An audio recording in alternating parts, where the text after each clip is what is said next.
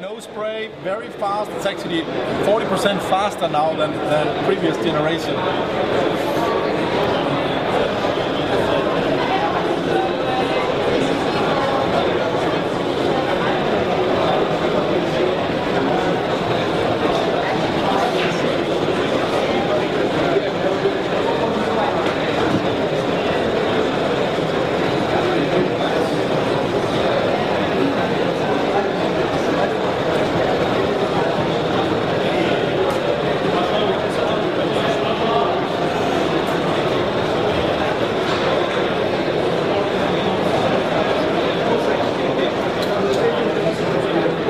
So as you see now, it captures obviously the geometry. That's still here. So we have all the geometry really quick. This was a 35 second scan and you can do a full draw in less than a minute now with this scanner.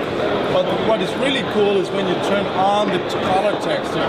This is when you see all the details. So this is actually things that are really apparent here. You see the palatal area, a really nice scan with colors, everything. Same from the front here. Here? That's actually a spot I have here, and even icings are coming in here. I think that's really cool.